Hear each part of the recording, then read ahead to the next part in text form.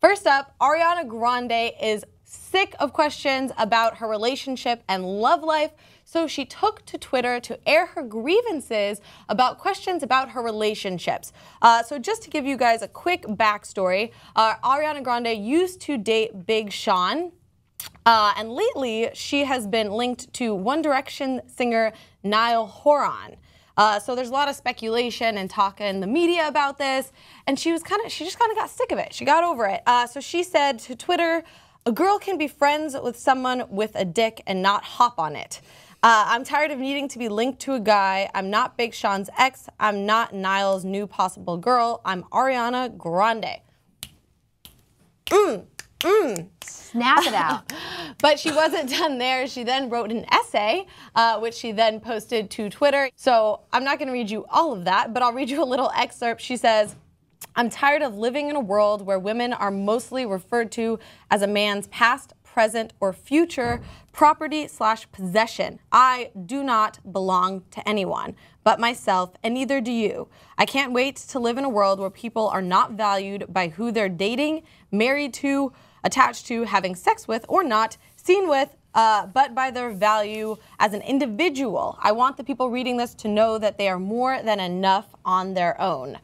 Uh, so obviously she has a lot to say about double standards and misogyny in the media, but I want to hear what you guys have to say. So Robby, make your point. Okay, so uh, first of all, I think she's completely right. Mm -hmm. I think mm-hmm. she's completely right to go off on this. Uh, we've actually dealt with this uh, on Equals Three a little bit. Uh, our head writer Kelly Landry, who's also now a host of her own show, um, she, when she first kind of came in front of the camera, uh, everyone assumed that she was either fucking Ray or fucking me. And that was what the internet was full of, was just these mm -hmm. comments of like, oh, you must be dating one of them. Are you dating one of those? And I would get questions, are you hitting that? Or to Ray, Ray, are you tapping that? Uh, and so, yeah, I, I, completely back her up on this. I, it completely is a double standard, I think. Uh, when you see a woman, especially on camera, you assume like, oh, they must be getting back, you know, behind the scenes, something going on there. Um, yeah, I think she's right to do that. No, right, and I totally agree. I mean, I host a show called Think Tank on YouTube, and a lot of I got when I first came on, not as much now. They were all like, "Oh, you must be there because you fucked John." Like that was like the mm-hmm. assumption. That's the only reason that you could possibly yeah. be doing this. Uh, but we'll get more into my double standard issues. But I want to hear uh, Sandra make your point. Um, this is a huge issue. I'd actually never thought of it as uh, like somebody who's got half a billion views on some of her music videos. It's, sh it's, shocking to think that it's like when you think of somebody being the possession of someone else, I usually think of like sort of like a, like a D celebrity where you're like, oh yeah, that person dated that A celebrity. Ha ha ha, that's how I know that person. Um, but I really care about people not judging people by who they sleep with because mm -hmm. it mm-hmm. doesn't matter if somebody's sleeping with their coworker yeah. now. Are they professional?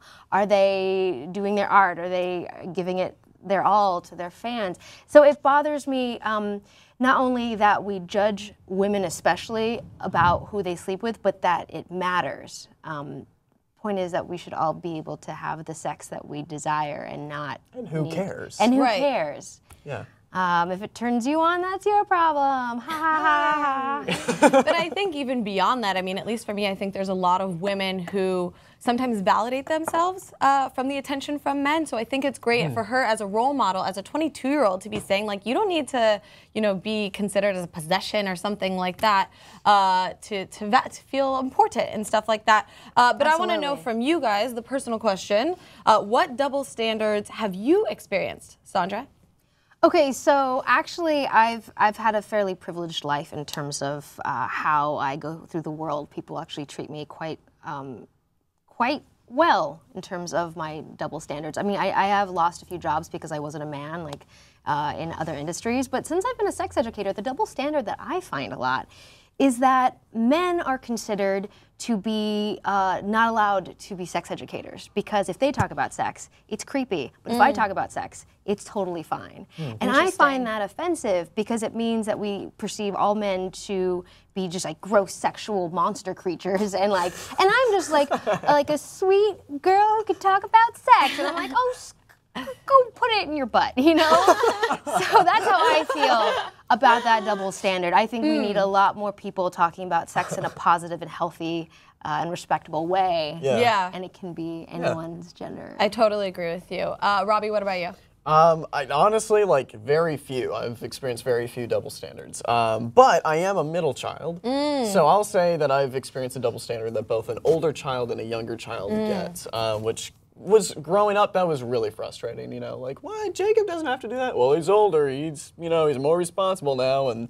You know, like what? How come she gets that? Well, you're older, so you don't need that. It's like, oh, what do I get? So, like that, that sort of middle child, you know, like, and honestly, like that compared to the double standards that most people experience, Right. it's like nothing. It's Yeah. nothing at all. So I've been very lucky and very privileged. Yeah, definitely. I think for me, kind of going back to the YouTube, I've found that like in the comment section, if they disagree with John, it's like, this is why I disagree with you because point A, point B, point B. If they disagree with me, it's like, you dumb slut. You, uh, you know what I mean? There, Don't there's read the definitely, comments. I know, uh, but there's definitely a double standard when it comes to how they approach, I think, uh, different people in the way that they communicate their opinions. Yeah. Uh, but I want to know from you guys what double standards have you faced and what do you think about Ariana Grande's essay? Let us know in the comments down below, and we'll see you in the next one.